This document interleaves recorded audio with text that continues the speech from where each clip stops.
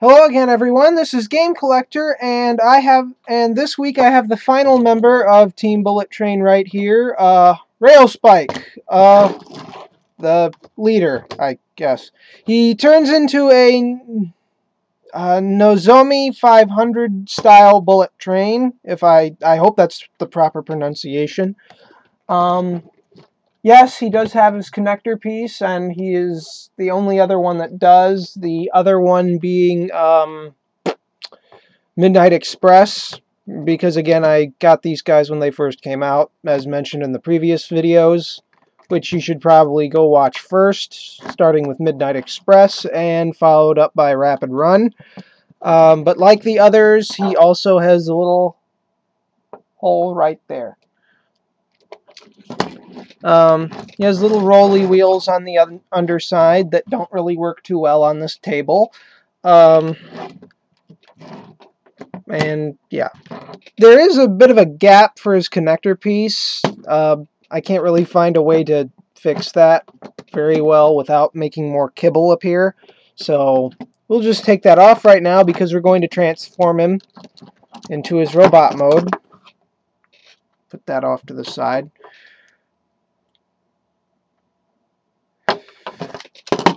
Where it won't get lost, hopefully. Um, legs are really simple. Just pull. Then you split and turn each of them forward. Of course, extend out the heel on both sides. And then extend the feet.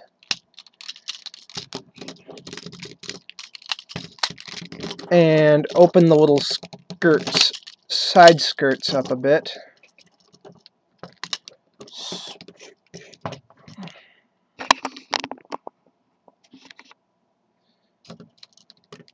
Split this top piece and fold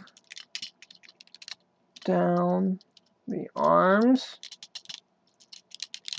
Wow adjust them really.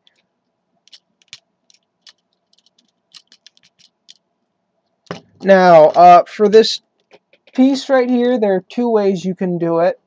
You can split the legs down the middle and move this entire piece into this cavity, which if you do, it kind of blocks his face, and I'll show you what I mean. Um,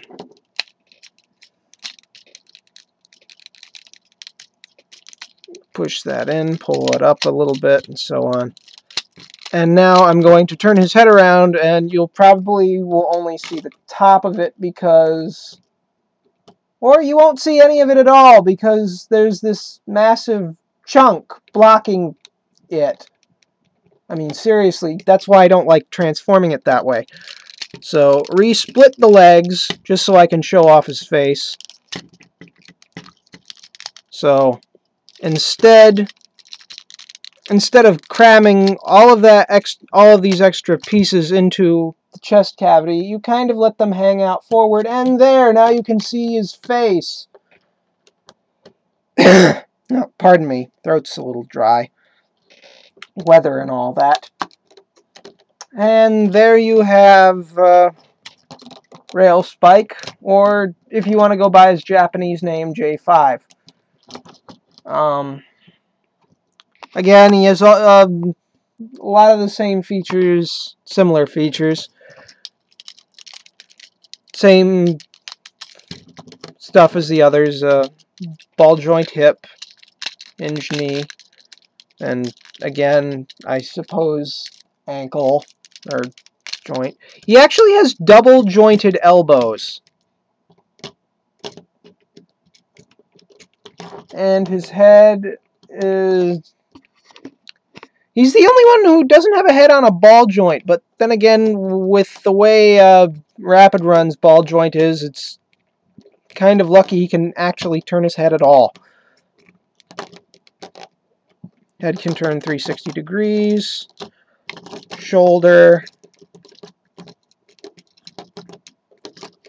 and now to this piece that's left over. Yes, it lights up, but uh, fold this up, push that down, pull out this little piece here, and then you peg it in, and there he has his rifle, which lights up. Pew pew pew! Uh, now to his bio and stats. Railspike is the leader of Team Bullet Train. Uh, he is courteous, polite, and intelligent, but don't let his gentlemanly manners fool you into thinking he's not cut out for battle. He can lock, load, and fire the rocket launchers on his shoulders, which you can actually see, believe it or not.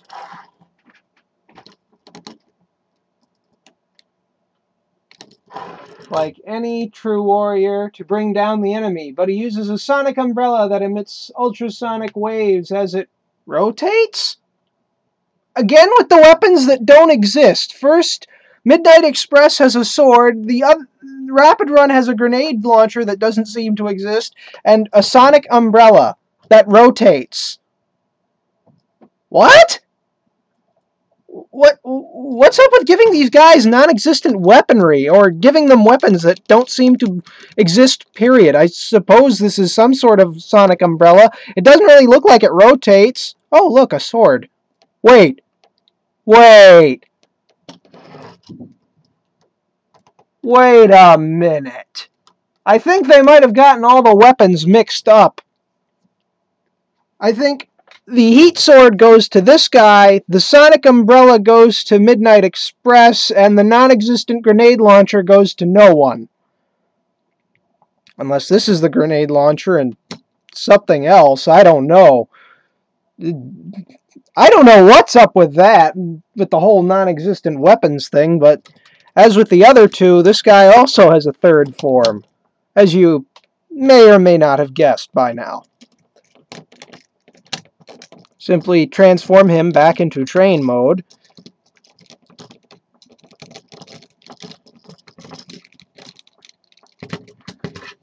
Which is kind of giving me a bit of trouble. And you may have already gotten a glimpse of what he might turn into. But instead of pushing these, instead of pushing the legs back in, you fold them down so he looks like an odd pistol of some sort, but you still fold in the heel and leave the feet extended out. And then you split it down the middle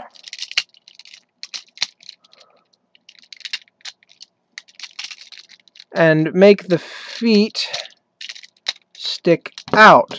I mean, what does this look like to you? Some sort of weird recognizer from Tron. It looks like it's half train, half walker of some sort. Wait a minute. If you take this guy here, or what you can see of this thing here, and if you notice, this one piece here has a little left over say, enough left over to do this? Oh, it appears I have just made a very big gun. Huh. And then I can perhaps plug it into the kibble fist floating on the backpack up there. Yes, that, that looks about right. And there's this extra piece kind of just hanging off in the middle. I wonder what that does. Oh, oh I see. Well, I would see if I could actually get them connected properly.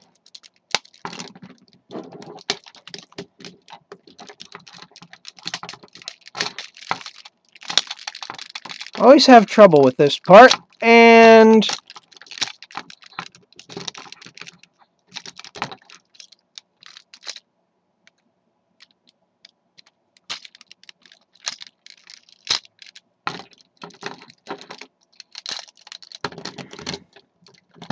I do believe I have created some sort of back-heavy monstrosity. A quite large back-heavy monstrosity.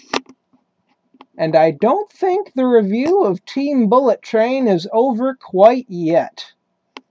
So I guess I'll see you next week with the, with the biggest and final member of the team. Later.